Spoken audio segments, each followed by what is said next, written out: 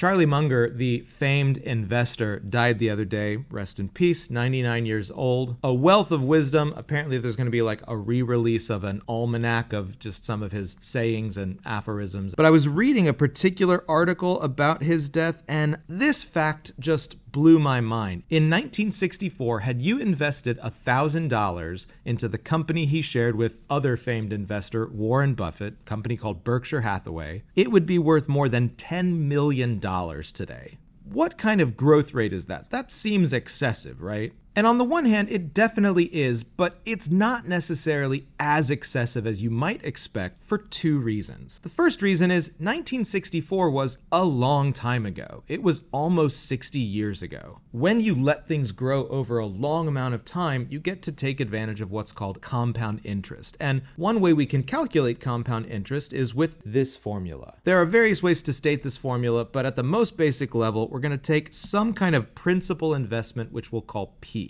That's the money that we're starting off with. We're going to invest that money at some rate R, and we're going to leave that money invested over a period of time T. In this case, we're going to measure it in years. Because we know the starting amount was a thousand and the ending amount is over 10 million, which we're just going to call 10 million, and we know the amount of time was roughly 60 years, we can actually plug those values into this equation and come back with the growth rate. What that equation looks like after we plug in our numbers is 10 million equals 1000 times 1 plus r to the 60th power. And again, obviously it's the 1 plus r to the 60th power that's doing the work of turning our $1,000 into 10 million million. Let's actually move that $1,000 over so we can just think of this in terms of basically a multiplier. To get from 1,000 to 10 million, we're actually 10,000 xing our money. We're multiplying our initial investment by 10,000. So we really want to know 1 plus some rate raised to the 60th power, what rate would cause that to equal 10,000. To do this part, we have to undo a power of 60, meaning we're going to take the 60th root of 10,000. Now, for sure, I cannot do that in my head, but typing that into a calculator, we come up with roughly 1.166. Since this is going to be equal to the 1 plus r, that must mean the rate of growth itself over those 60 years is 0.166. Or if we express it as a percentage, 16.6%, which again isn't necessarily eye-popping, but when you keep in mind the fact that the stock market on average grows somewhere between 7 and 10%, depending on what kind of time frame you're looking at, it is pretty amazing that Warren Buffett and Charlie Munger could consistently basically double the rate of growth of the stock market every year on average for 60 years. Now that we've figured that out, here's a fun little extension of the problem. $10 million is nice, but so is a million dollars, and 60 years is a really long time to wait. If I decide that I'm happy with a million dollars rather than 10 million, how much more quickly can I get that money if I'm investing with Berkshire Hathaway and they keep giving me back 16.6% returns year after year? Is it a tenth as much time, so it only takes me six years to get there? That sounds pretty good to me. Or maybe, you know, logarithms and exponential stuff is weird. Maybe it takes me half as much time, 30 years. But still, 30 years with a million dollars sounds better to me than having to wait 60 years for $10 million.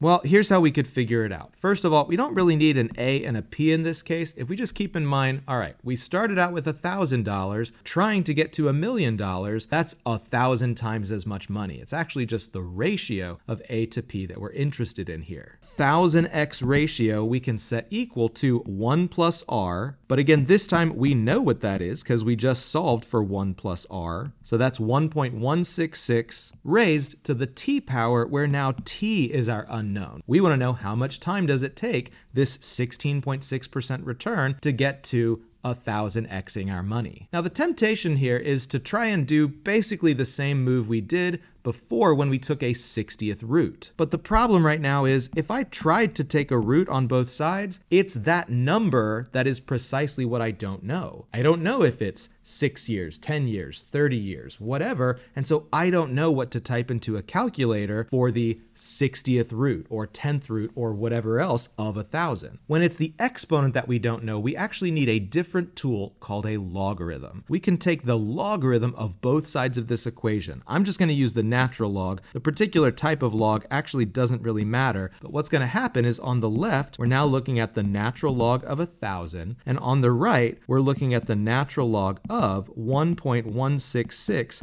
raised to the t power. But that's good because logarithms have this funny little property where any kind of exponents in the logarithm become a multiplier. And so this is actually the same thing as the natural log of 1,000 equals t times the natural log of 1.166. Now the key here is to recognize both natural log 1000 and natural log 1.166 are just numbers. They're weird numbers, but they're just numbers. And so to isolate t right now, all we have to do is divide by the natural log of 1.166. And again, this is something we can type into our calculator. When we do type that into the calculator to evaluate, what we end up with is 10, 6, 30, no, 44.978 eight for T. So it takes us 45 years to get to that first million dollars, starting from our $1,000 investment, but then just another 15 years to go from a million to 10 million. This is the power